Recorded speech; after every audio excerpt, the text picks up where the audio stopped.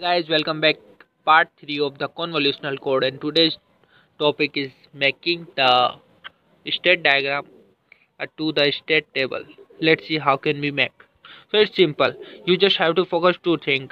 That one is your previous state and your next state. So what is your previous state? This one is a. So if it is a and uh, if i give it 0 it will give me a so it will go on a.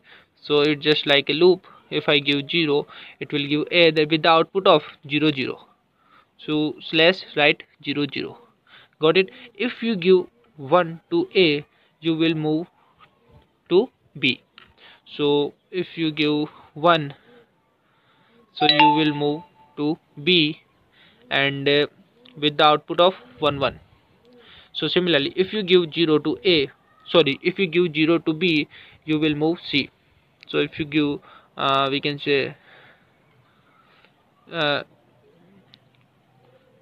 okay if you give 0 and with the output of 1 0 you will move c.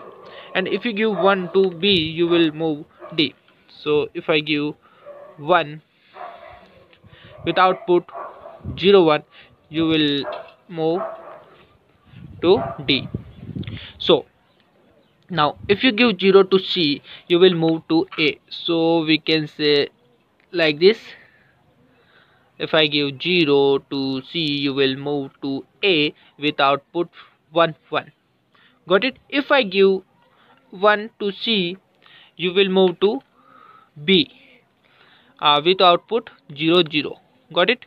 Now if I give 0 to d you will move to c so with 0 output 0 1 and in the case of d if you give 1 to d you will move to d okay? Itself. So with uh, of this the out, with the output of 1 0 so this is your simple state diagram uh, in the convolutional code so this is simple it's nothing hard if you know how to solve this table.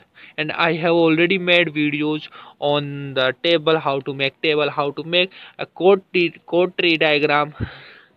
A code tree diagram and uh, this is the part third. So i hope you have understood and uh, i know there is a camera issue but i'm sorry for it. And uh, thank you so much for watching this video and share if you think it is valuable and uh, it will work with your friends and if they have doubts please share to them. Thank you so much